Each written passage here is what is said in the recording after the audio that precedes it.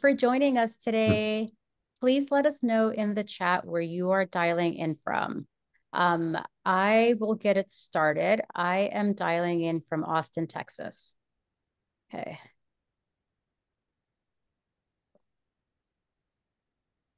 Ooh, from the UK, from London, Los Angeles, Dubai, Canada. What time is it in Dubai? Denmark. Oh, Sebastian, that's you. I was like, oh my God, we have to, we have someone else from Denmark. and it's you. So we don't have any music on today, but we have two really great special guests. So while we wait to get started and from other folks to dial in, please let us know uh, where you're joining us from in the chat. We'd love to see it. And obviously, we love to call it out. Oh, somebody else from Austin, Texas. Welcome. All right. I saw Ethiopia. Wow. From DC, from Ohio, California. Ooh, it must be lovely weather there. That's Somebody else. That's yeah. What's the weather like where you are, uh, Sebastian? What's weather like in Denmark? It's um like it's kind of a little bit rainy and maybe 10, 10 degrees Celsius. Okay. I okay. Sorry. I'm right. I'm like, I only know Fahrenheit. I'm sorry. Uh Stefan, what's the weather like where you are? Well, like Sebastian's, nothing to write home about, basically. 50, 50 degrees Fahrenheit. oh, okay. That's great. That's like very nice fall weather. It's like the perfect kind of weather. Okay. Yeah, it's, it's good. good webinar weather for sure. you, All right. You don't have to heat and you don't have to switch on the AC either. So it's perfect for the environment. well, for me, it's my favorite because my hair gets to look good with very little effort. So that's kind of what I care about. All right. Nice. Ooh, Edinburgh. Someone's dialing in from sunny South Florida, Edinburgh, England. Hello.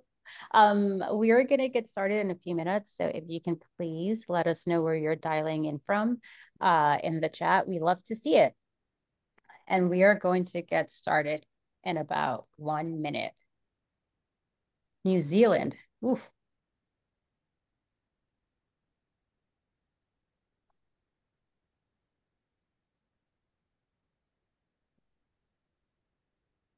Oh boy. Okay.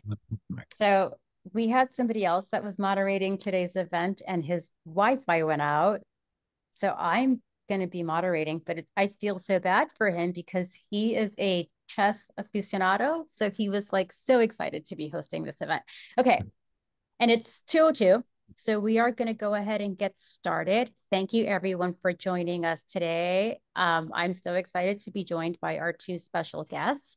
And today we are going to talk about how chess is a lesson uh, for business. So I'm very excited. And I'm just going to go through this quickly just because we have a lot to cover today and we want to get uh, through your questions. So we're going to encourage you to share your questions in the Q&A feature at the bottom of the screen. So before I get started, um, so I'm going to go over the guidelines as well as today's agenda. So today's guidelines. Uh, so this event um, is not being recorded. Do not worry, you will not appear in video. You will only see the three of us. Um, and also there's a mute courtesy, so we will not be able to hear your lovely voices, unfortunately.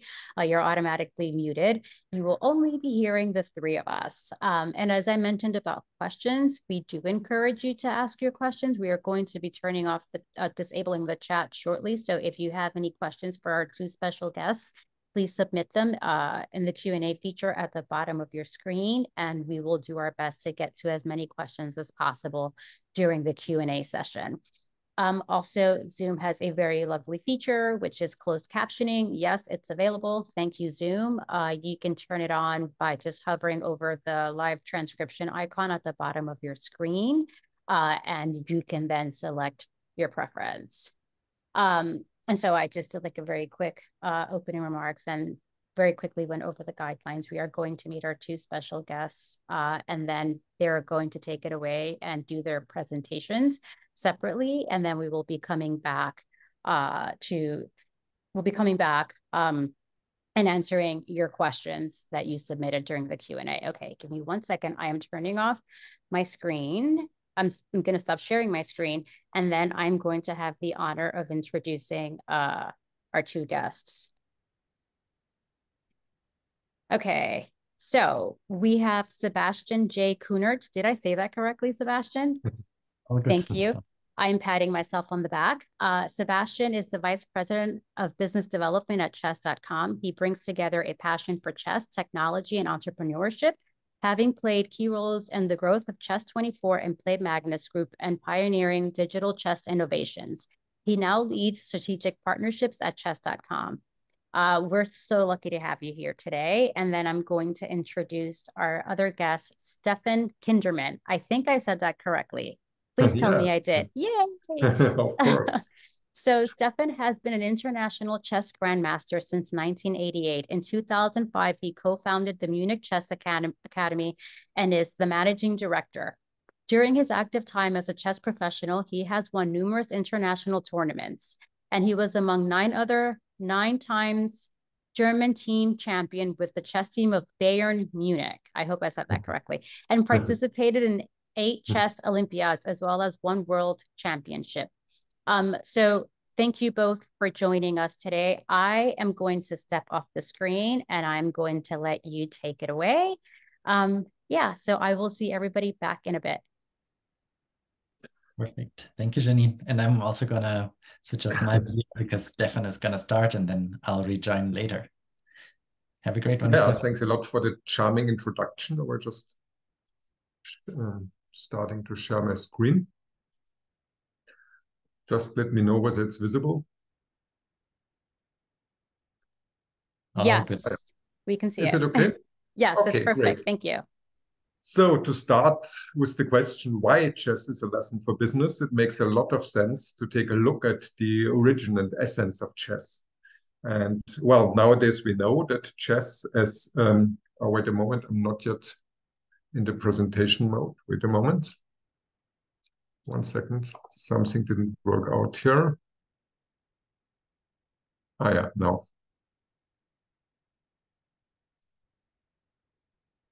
Can you see the screen?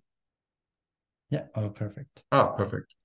Yeah, to understand um, what's the true meaning of chess, we have to go back um, to the origin. And nowadays we know that chess is about 1,500 years old, and it was created in India, in the north of India. And in fact, um, it wasn't a game, but it was um, highly relevant for survival, as these were very belligerent times in India, the north of India. One war followed the other.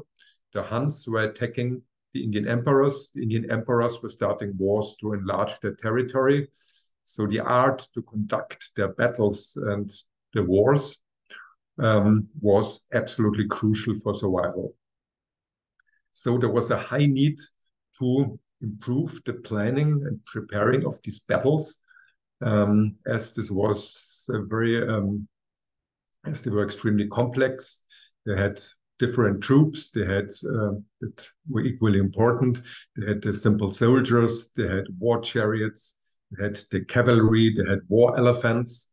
And now we know that if you look at the chessboard and the chess pieces as we put them up 1,500 years later, we see nothing else than the setup of the Indian army before they went into war. And the brilliant, the genius thing that the inventors of chess succeeded in was to um, put the special skills of each department of the army into these chess pieces with some simple rules on a simple board. And each of the pieces, for example, the knight, of course, for the cavalry, the rook for the war chariot, the bishop for the war elephant, um, shows in a very simple but brilliant way the special skills of this special part of the troops. And so they succeeded to create a vivid model of reality and um, it worked perfectly. And unfortunately, we know that um, the inventors of chess succeeded to create even much more than just a model um, of war. As nowadays we know it's a perfect training for um, planning and decision making and uh, kind of brain training as well, as we know from lots of research, especially for concerning chess for children. But to understand even better why chess is so useful also for business and for life in general, let's put ourselves inside the head of chess champions when they play important games. Here we see on the right side the still strongest player on the planet, Magnus Carlsen from Norway. On the left side, his predecessor, Viswanathan Anand from India. And on the outside, playing chess looks pretty calm, relaxed. Some evil guys might say even it's boring. But let's put us inside these champions when playing a crucial game, a game they trained for, these world championships, they trained for many years. Now everything is at stake. And chess is a merciless teacher concerning making decisions within a time given. Because in chess, uh, in tournament chess, we play with a strict time limit. If you overstep this time limit, then you lose for sure. So a typical situation might be in a, in a complex game, you play maybe for the world championship, for the German championship, whatever, and you have three more moves to make, three crucial decisions. And for these three moves, you have two minutes left. And now you know if you overstep the time limit, if you don't do these three moves in the two minutes, then you lose for sure. But if you play too quickly, if you commit any mistake, on the other side of the board, a merciless opponent is waiting to punish you. At the same time, nowadays, all the games are broadcasted live via internet. And in this World Championship matches, up to 40 million people are watching live. Even for myself, when I play in the highest German league nowadays, maybe some 10,000 people are watching. And each mistake will be commented not so nicely in some social media channels. And so you are presented with all the mistakes and all the things you do with all your actions to the world. If you put all this together, you can easily imagine that inside the players, a storm is raging, the heart rate is going up to 180 or even higher. And um, experiments that show that the emotional pressure on the players is equal to, um, let's say, boxing or car racing. And still, the players have to keep a clear mind this brings us to the question of the complexity. Um, also here you might think it can't be that tough to play chess with some small pieces. But there's an interesting relation that shows on the one side the number of atoms in the known universe, which is estimated 10 to the power of 84 or 87 to 87. And on the other hand, the number of possible chess games, which is about 10 to the power of 120. So a total different dimension. So we immediately see extreme complexity. And already here we see that the typical image of a chess player as a walking computer on two legs, pure logic, pure rational thinking is plain wrong. That in chess you need a lot of intuition and gut feeling to be a strong player because otherwise you would be totally lost in the ocean of possibilities.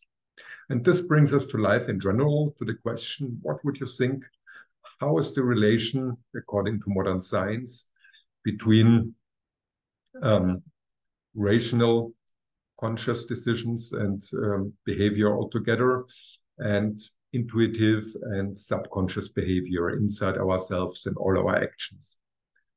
And this number is pretty dramatic. By now, it's it's estimated to be 2 to 98, so meaning only 2% of our decision making and behavior in on the rational side and 98% on the subconscious and intuitive side. And to anybody who might intuitively say, this is not, I won't believe this, you might ask yourself, how many decisions do you make during one day? And depending how much you go into detail, I mean, how long did you brush your teeth? With which foot did you get on, uh, get out of bed, and why at all? um, you easily find out these are 10,000, hundred thousands of decisions.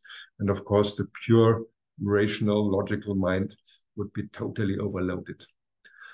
But in fact, even though by now uh, we know that um, our intuition is much, much bigger part than ever thought, it's still not easy, even for top managers, very experienced guys, to say, well, it's just my gut feeling. Let's do it this way. I can't explain why.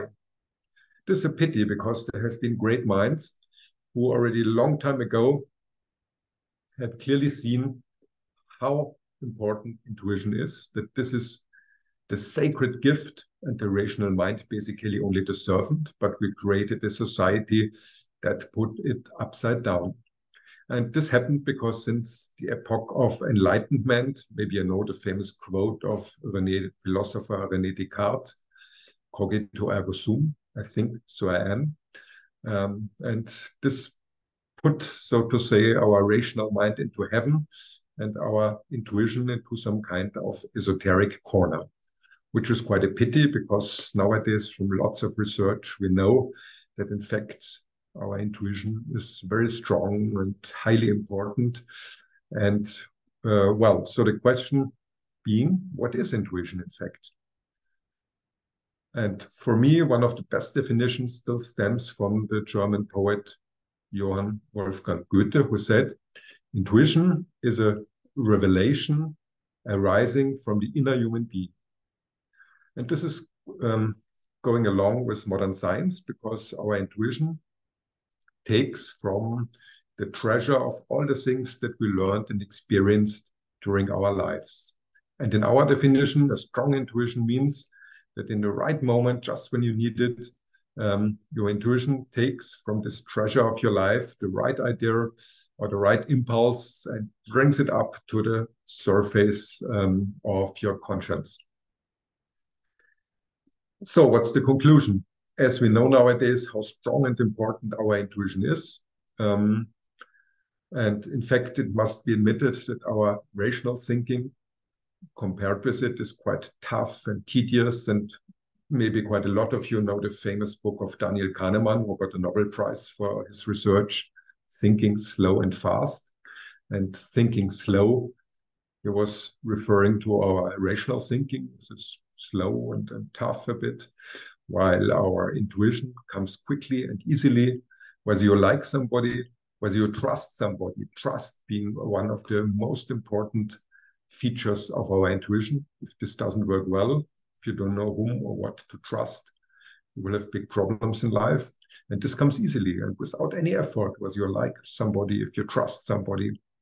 So maybe we should just skip this uh, tedious rational thinking and also it consumes about 80% of the energy our brain takes. So it's not very hmm. efficient and not very economic. But unfortunately, even though this might sound tempting, this does have big drawbacks, as our intuition might absolutely mislead us, as it can be warped and distorted. So to understand the mechanics behind it, let's start with a simple visual experiment that probably all of you know.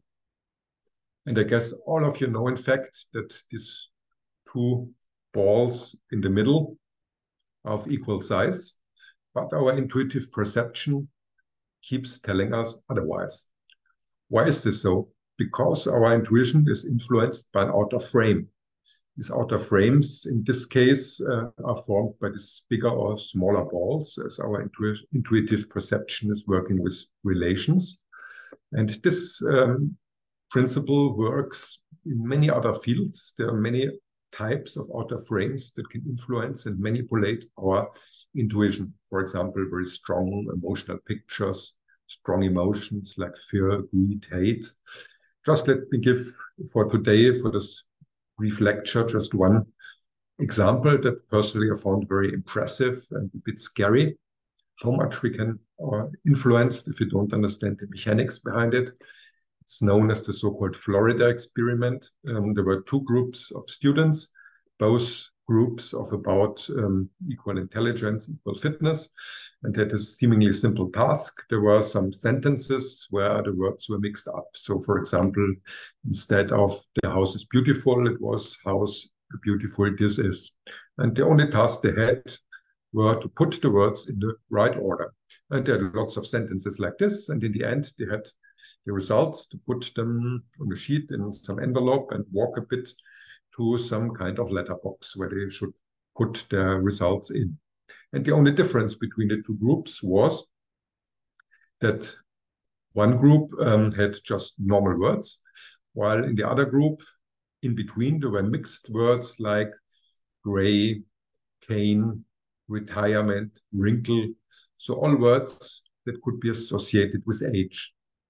And the scary thing was the result of this experiment that the group with the H words was walking about one third slower to this letterbox. So it was enough to create this outer frame of these H words to associate them into the world of an old person and to behave like an old person. And this brings us back to the question how we can protect ourselves. And this is obviously bringing together intuition and rational thinking, as our rational thinking has the power to protect us against such mistakes. And that's what we do in our trainings, showing how to bring, how in all our planning and decision making, how to bring together our intuition and our rational thinking.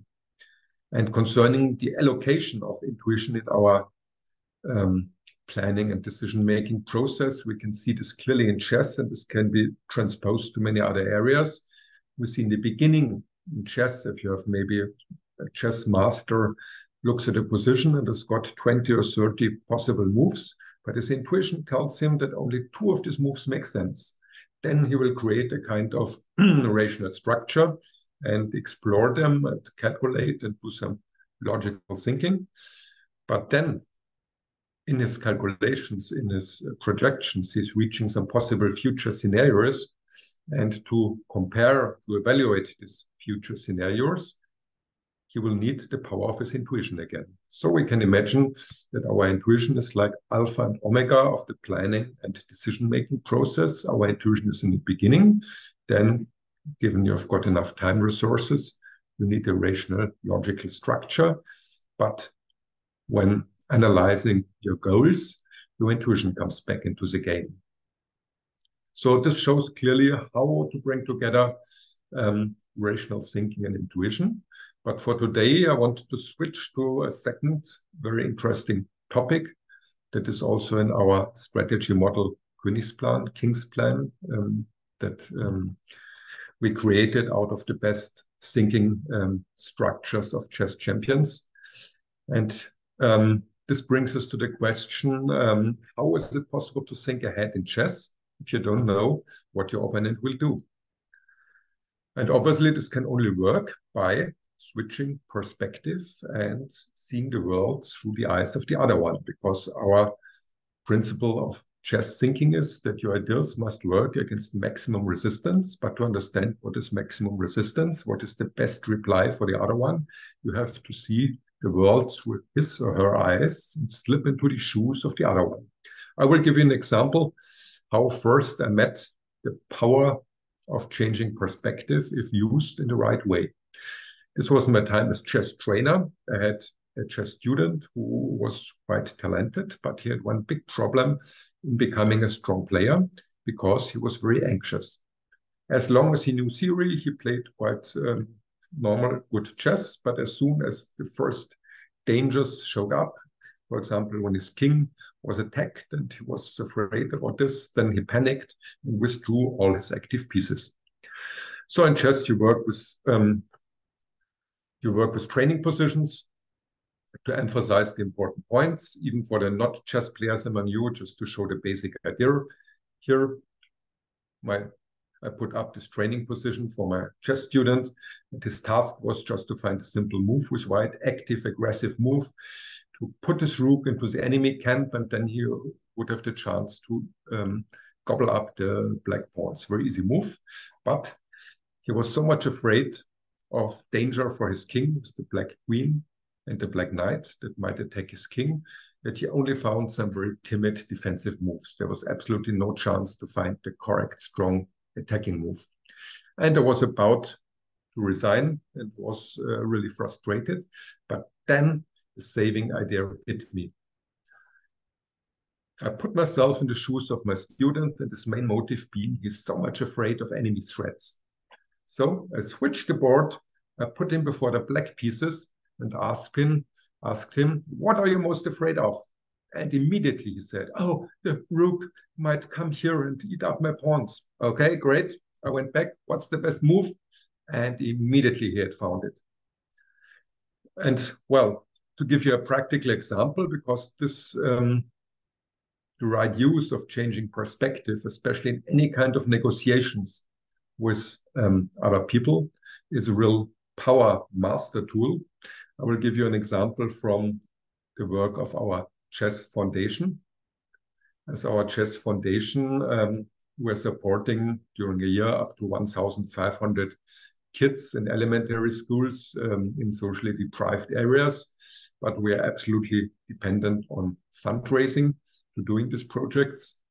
And so we had a meeting with a sponsor, with a big representative of a big representative of a big sponsor. And it was going about the budget for 500 kids for one year. So nearly half of our budget for one year. And well, the guy who was sent to us, he was a representative of the board of this big sponsor. And we sent them our application it was already the absolutely after some nego negotiations that had been before and this application was the absolute minimum budget that we would need to do this project we couldn't reduce it any further and he came to us and got the job from the rest of his board to cut down the costs something which we could not accept and so we negotiated for hours and hours, and there was absolutely seemed no way out. It seemed that the whole project would crash um, because um, he wanted to to cut the costs, and we couldn't agree to it. So in the first first moment, everything was stuck. But then we got the saving idea because we put ourselves in his shoes because he made clear this board member, the board representative of our sponsor, he made clear that he really loved this project. He was sure that our chess training would help these kids, that they would benefit a lot. But on the other hand, he didn't want to lose his face. So he could not go back to his um, other board members, just tell them, well, I achieved nothing.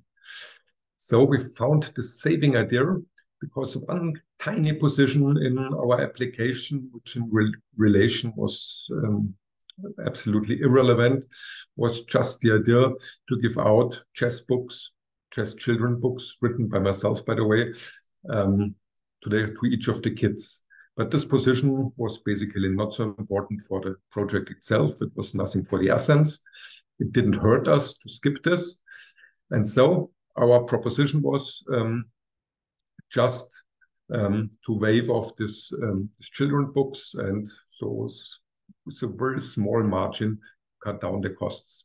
And now out of a sudden he was happy because he could go back to his uh, fellows and tell them, well, I achieved a real success. I cut down the costs and I saved the project.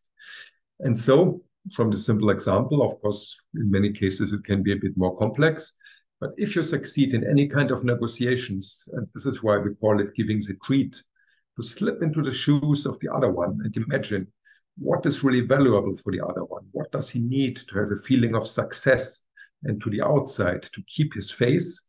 And you find something that doesn't hurt you and you can give to the other one, then this might be a very important ingredient for success. And as a small self test for uh, how well your intuition in this area and understanding other people works, you can do for yourself the small self-test with the simple question, how often am I surprised by the behavior of other people? If you are never surprised, then I'm sure your knowledge of human nature is pretty well.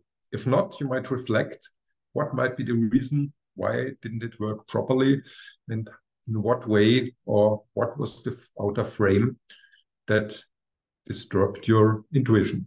So putting the parts together, I wish you much success if you use these two superpowers inside yourself, the right use of the power of your intuition and the right use of changing perspective in the right moment and putting yourself in the shoes of other people. I wish you lots of success. Thanks a lot. So now I hand over to Sebastian. Yeah, thank you very much, Stefan. Um, I don't know if we have a little moderation in between or not. Otherwise, I'll start. You can take over. Perfect. Cool. Uh, let me share as well. and uh, just as a reminder, you know, share your questions with Stefan. He has profound knowledge that he can answer when we get to the Q and A session, also beyond everything he has shared already. So, yeah, what I'm getting into now is, um, yeah, like basically, if you listen, if if you reflect on what Stefan has shared um, about intuition and business, intuition and chess, um, I want to show you how we have applied it in growing chess as a business. So basically, like a case study of Stefan's lessons. Um, and um, there are three main lessons I I want to share with you. Um, they are one that experience and intuition can really be something that already brings you very far. So um, I'll, I'll, I'll get into all three of these. Um, the, the, the second one is that innovation is often as easy as starting with an experiment. So um, the difference between doing nothing and doing something and the insight that you generate from that and how you can again use that over time and how that can lead to the next uh, bigger stage of that initial experiment it's fascinating where you can get uh, when you think about exponential growth and the third one is technology plus some element of surprise can result in a new product um, or often already constitutes a new product. So when you're applying technology to a new context. So these these three I'll I'll illustrate practically for you now. Um, the first one now, experience and intuition. Um, but before I get into the depth of that, um, just one little step back. So chess, as as um, many of you know, of course, is is a very old game, but most of the growth of this game has happened during the past couple of years. So um, when you look at chess.com, for example, in January we had 100 million registered users, and in October 150 million registered users. So a 50% growth just within this year. So in comparison to that, basically here at the beginning of the digital transformation of chess, there was just a handful of people playing chess online. Um, of course, people have always been playing on the board over over the board, but um, nothing in comparison to, yeah, this rise in popularity over the last three years. Um, maybe another interesting data point there is also that for YouTube, chess content has become such a big category that they published that this year, uh, in by August, there were already four billion views of chess-related content on YouTube. And uh, you can see a little bit how that evolved over time um, for for chess.com from 150 million games being played per month um, at the beginning of the pandemic, then Queen's Gambit coming, and then um, yeah, a latest phase of growth now. A little bit how that relates to other sports. But uh, this just to show you that this, the chess has been a success due to many cultural factors, many innovation factors, um, many, yeah, both luck and homemade luck, um, and um, ultimately now resulting in chess.com even being listed as one of Time 100's most influential companies. Yeah, and um, before we go into the weeds further, I want to just show you one video because not all of you might know what modern chess entertainment kind of looks like today. So I'm going to play a video for you, and um, then you'll have a little bit of a better understanding of what lessons I'm going to share with you. Chess.com, the world's largest chess community with more than 140 million members, presents Chess TV. Oh my god! Yes! Chess TV has you covered with live chess events, original chess programs, and informative chess content. Oh. Yes! Come on, to heaven! To heaven with the pawns! Tune in to Chess. Yeah. So basically, chess is no longer the dry game that people originally maybe associated with with with the sport and with the game. It has evolved as entertainment. It has evolved um, as a, as a, as as a streaming category and also as an esport. So as a as a sport that is being played online, uh, like other games like League of Legends and so on.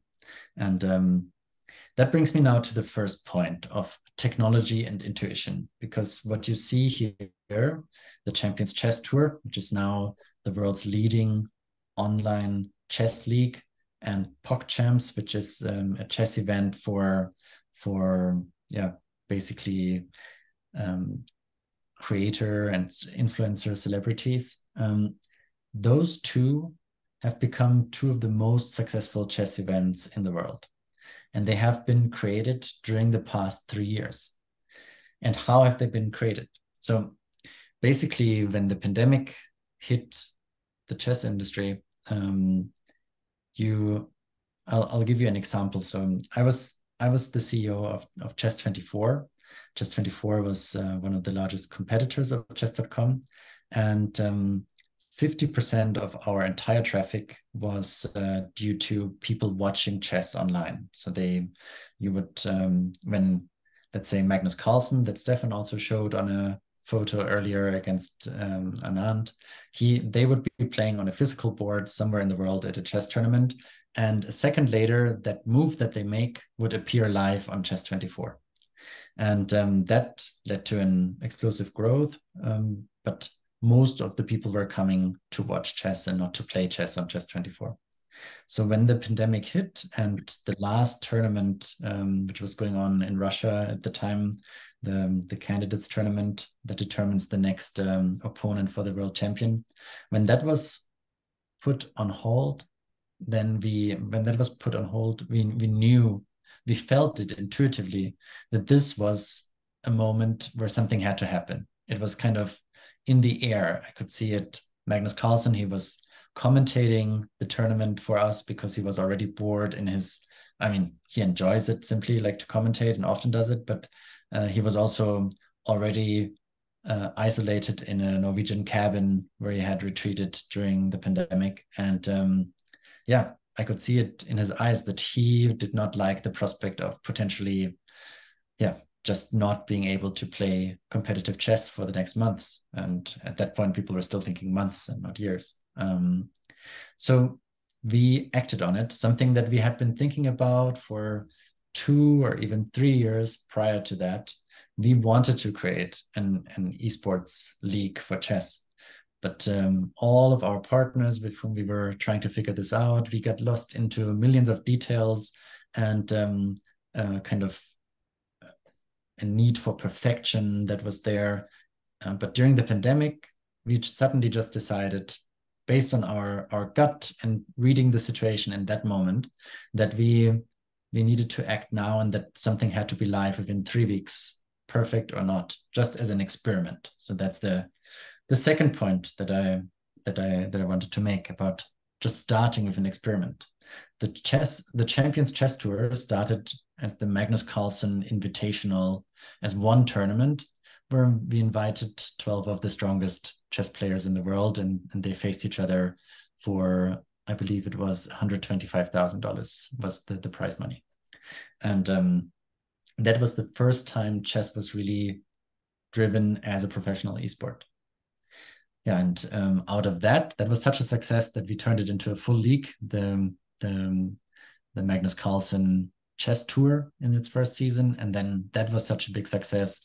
With also sponsors um, from all over the world joining in a way that the chess world had not experienced before. Um, you see here puma in the background for example and many other brands um, that um, we could turn it into a re regularly recurring yearly league that is now called the champions chess tour. So just one case study um, part of this is even being taught now at the MIT. Um, this just one case study of of technology and intuition creating an entirely new product, um, starting with an experiment. Here you see our studio and, and mobile esports arena that we built then when people were allowed to get back together in one location. So we continued it even post pandemic. Yet the other lesson I wanted to share with you is technology applied to a different domain in a surprising way. And that regards chess computers. So chess computers have been there for, for decades. And um, I guess all of you are familiar with a chess computer. So you, you play against a computer and it doesn't feel like you're playing against a personality. It simply feels you're you're playing against somebody who is either better you uh, better than you or worse than you and maybe you can adjust the difficulty level and and that's kind of it. But you don't feel an emotional connection with it. It's not telling you a story. You're not experiencing something truly memorable. And uh, that's what um, play magnus and, and later also chess.com have changed in in to a large degree in the world of chess. Uh, so with at at play magnus I'll just start with this one. Um, we developed an an app where you could play against Magnus Carlsen, and you still can, um, at different age levels. So, can you beat Magnus Carlsen when he plays the way that he was playing uh, that uh, he was playing as a five year old? Can you beat him as a nine year old? And I can tell you um, most likely you cannot beat him um, from when he's 10 that's that's when more than 99% of the world failed to beat him. And yeah he was really already a phenomenon at that age. Um, but yeah that experience where you could get to know his life at that age experience moves that he and playing strength that he made at that age that changed the way a chess computer was perceived. And later now that we're running our Champions Chess Tour. We even get famous personalities like Christian Pulisic, uh, US national soccer player and AC Milan player, um, to play against the 10 year old Magnus for charity in this case. So Puma was donating money for every move that Christian Pulisic would last year. And then later, when we launched a chess shoe with Puma, uh, they would also play together. Um, but going back here, we took that to a whole different level at chess.com where we um, got a chess computer to trend for 48 hours as the number one global video on YouTube. And that was with this cat called Mittens. So what what's different about this cat than any other chess computer?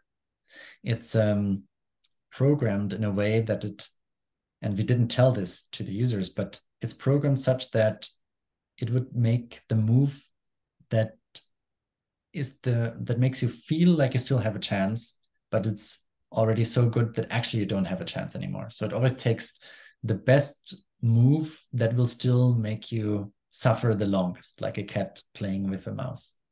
And um, yeah that was such a fascinating experience for millions of people that um, when it finally um, when finally somebody I'm not sure if Hikaru won or drew against Mittens, but um, that blew up YouTube basically when it happened. Yeah, so those are the three main lessons I wanted to share. We then applied this also here to Luka Doncic, for example, from the NBA, who um, yeah engaged with his fans on chess.com through the Luka bot, um, and um, that became a huge success and you can of course try this yourself. So um, feel free to play against these and, and many others. So there are even characters like mr beast that that joined one of our events as well PogChamps 3 and and many more. So have you can have fun with that and also many variants and, and more what we have on chess.com i just wanted to also you know for those of you that are not aware of like the relationship between chess.com and meetup um, we, we have a great partnership where basically there are 382 groups um, on meetup. So no matter where you are in the world you can find other chess enthusiasts or even as a beginner connect with them and and just meet up in a physical space to to play chess together. And of course you can then continue that also online on chess.com but always great to also meet in person. And that's what we're so great at doing together. Yeah and um yeah, just the examples of uh, different partnerships that we did um, recently that kind of changed the way chess is being perceived in the world. But um, I want to have leave sufficient space for the questions that you may have. So um, those were the three very intuitive lessons of common sense, I think, um, that still not every organization manages to apply and that sometimes require us to, yeah, go beyond the static boundaries that we may have set during a different time. So thank you, thank you for for that, and um, yeah, looking forward to your questions and trying to to answer as many of them as possible. Thank you both, uh, Stefan and Sebastian. I am excited uh, to ask you the questions that the audience shared. Okay, give me one second. I am getting all of the questions. Um, there were quite a few questions. Okay, so, all right. The first question is, uh, Anonymous asked, how much does experience play into intuition versus rationale? I'm assuming that's a Stefan question. Yeah, as I said, that uh, intuition draws from the um, experience of our life. So um, um, this means automatically to have a strong intuition, you need some to gather some experience. And um, although it must be said that experience only really counts if it's connected with feedback, because the development of any skill has one basic requirement, meaning feedback. So if you have got a lot of experience in some area, plus getting feedback on the quality of your actions and your ideas, this will be the will form at least in most cases, a strong intuition. So in this case, most probably you can rely on it. Thank you. Do you have anything you want to add, Sebastian, or was? No, I think that.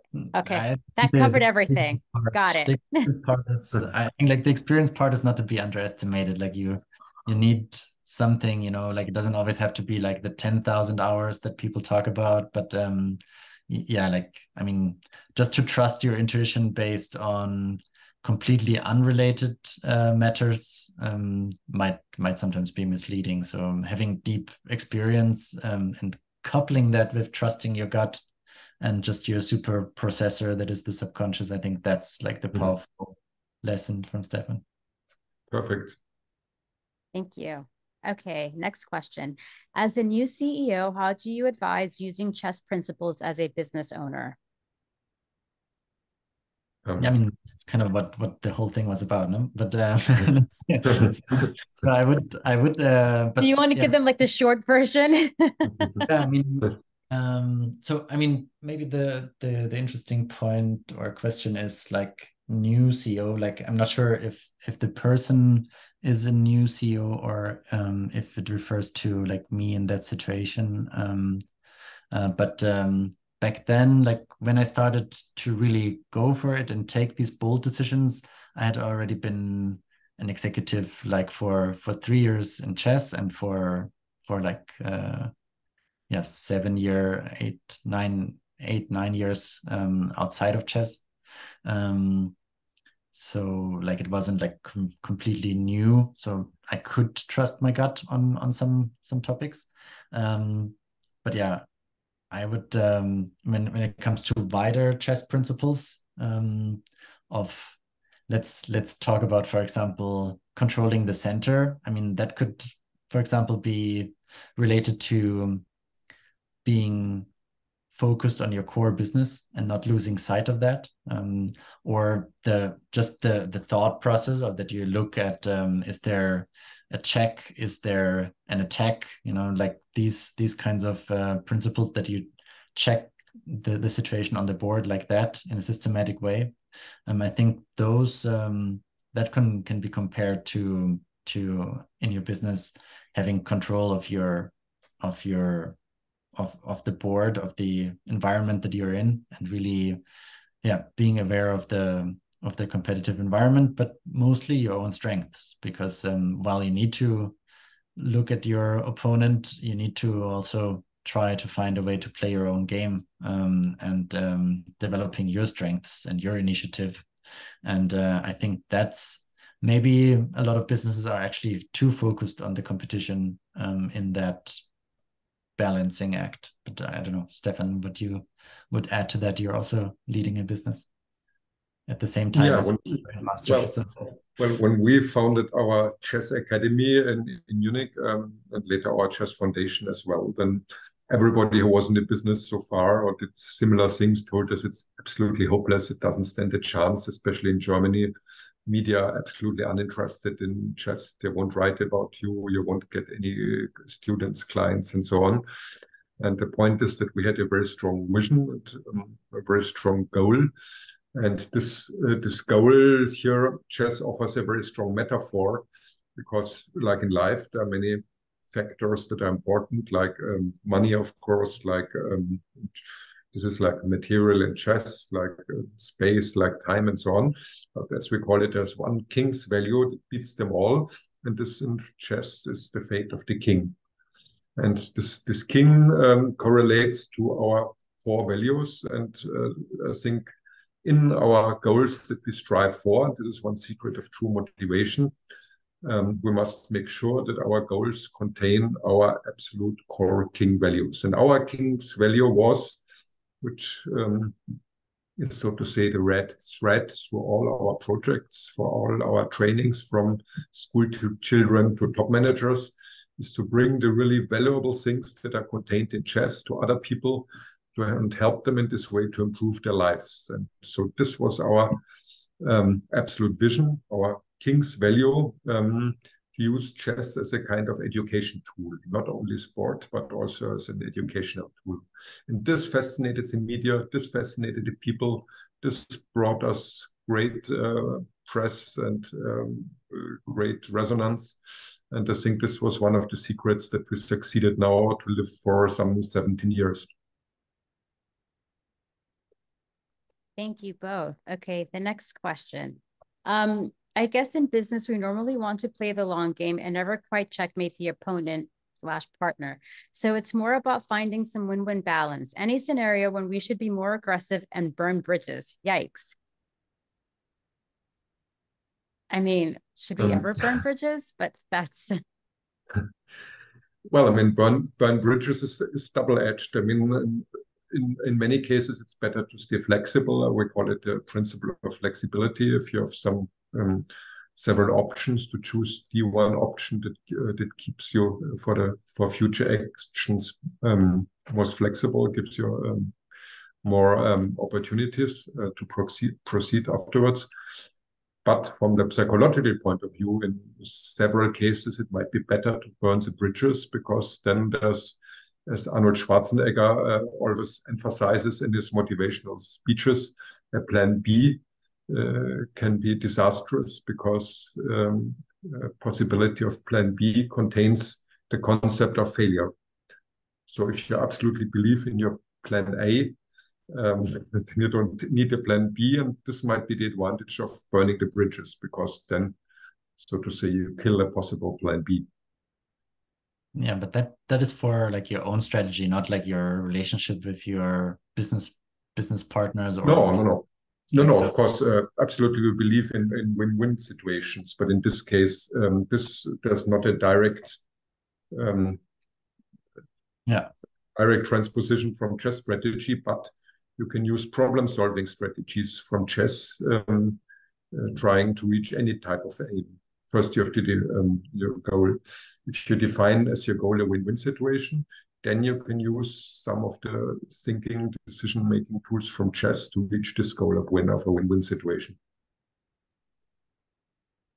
great yeah, I would, I would just add that like it's um in when it comes to the to the business relationships um it would yeah i i i think like the best thing is to strive for so much originality that the basically learning almost the opposite of chess that in chess the the reason it's so tough is because both um, have the same set of pieces. And if you um, it becomes much easier when you manage to develop uh, a couple of pawns into queens. So if you can do in your business then um, you know that that is uh, that is magical because then you're striving more uh, for unique advantages, and and that would be the the real checkmate. Okay, we have more questions. Okay, this is a great one. I'm excited to ask this question. Ah, and I think I just lost it. Oh my gosh. No, what did I do? okay, I found it. I found it. Okay. Chess is a perfect information game. Is, for example, poker a better general embodiment of a business environment? Well, I think yeah, this this is a typical uh, typical and interesting question because theoretically, um, of course, I mean, what means theoretically? Mathematically speaking, chess, of course, is a game of total information. So this means you should not expect things like uh, unex unexpected things happen or the much quoted black swans to show up. But uh, in fact, this is not true for humans playing chess. If you play chess as a human against, especially against strong opponents, then always some absolutely unexpected things uh, will happen, some things that you could not foresee with your own power. And you have to learn in chess how to adjust to these uh, things happening. And um, and I think for this, and also of course in chess psychology, plays quite a big role. I mean, in a way like in poker, because you have, especially in preparation the opponent, you have to foresee what the things, what your opponent is going to prepare for you, and on the other hand, what might be unpleasant for him. So I think also here um, quite a lot of psychology uh, plays a role. I mean, so in this in this area, uh, there are quite some similarities with poker as well. I worked both in chess and poker. Um, yeah, I, I think um, I mean, yeah, probabilities and and ranges are are of course like a closer depiction of reality, but there's I mean, it's still a lot to be learned from from a pure from a pure play for, from a pure game that that doesn't really leave space for for randomness within uh, each each individual match or game. So um yeah, I, I would I yeah, I would look at it a bit more differentiated that both have their lessons to to share with life. But um, yeah, I think um, there's there might be more pure insights in chess and and uh, maybe more more like some depiction of reality when it comes to probabilities in in poker.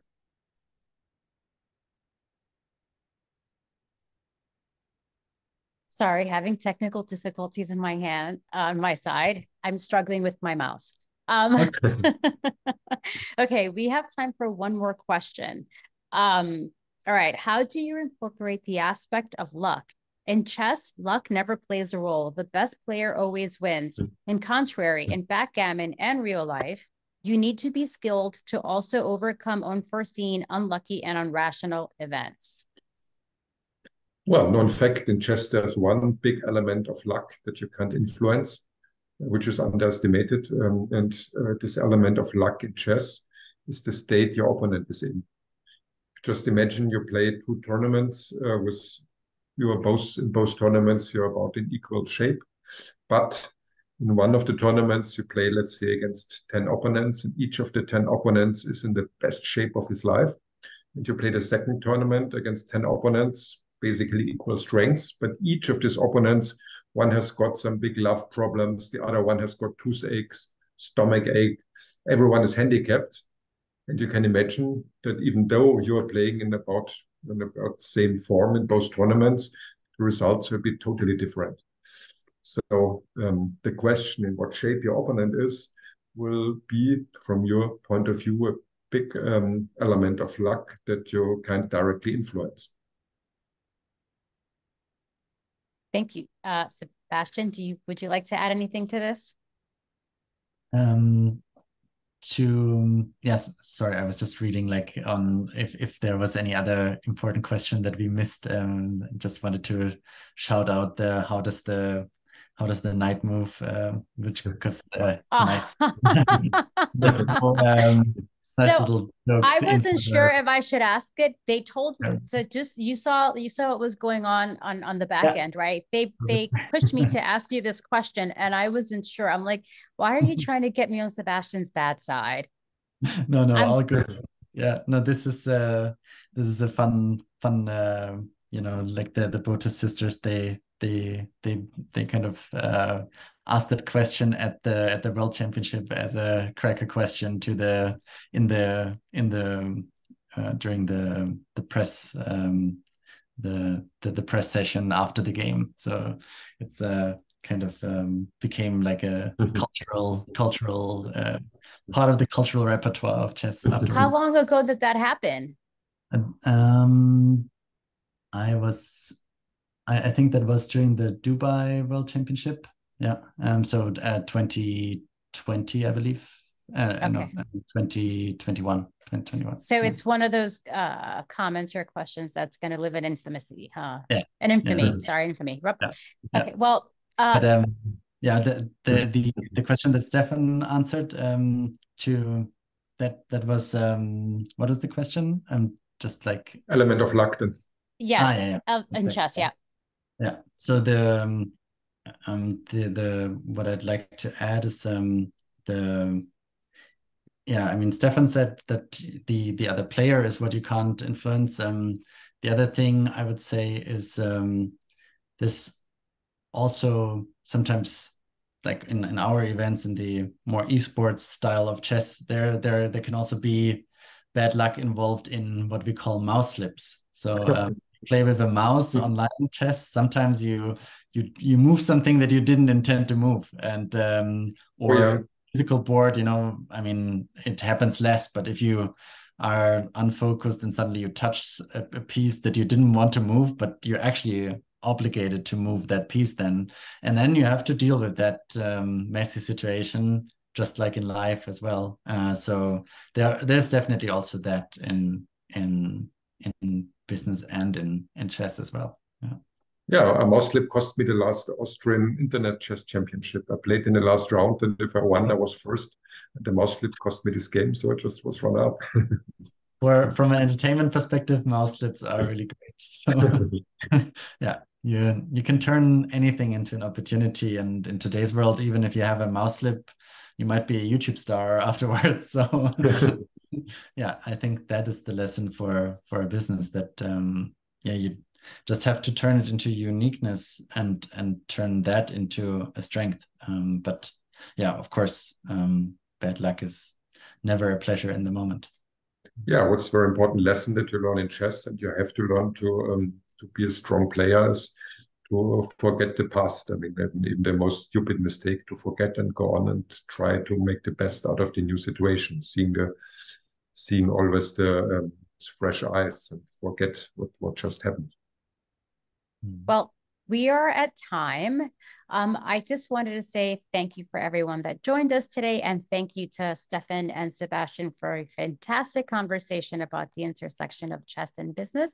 Um, I hope that everyone is as inspired to play some more chess and take the next step in uh, their business careers. So, thank you again, everyone, for joining us today, uh, and have a great day. And thanks Bye. a lot to Janine, to Janine for perfect moderation. Thank you. You're very kind. Bye. Bye. Bye.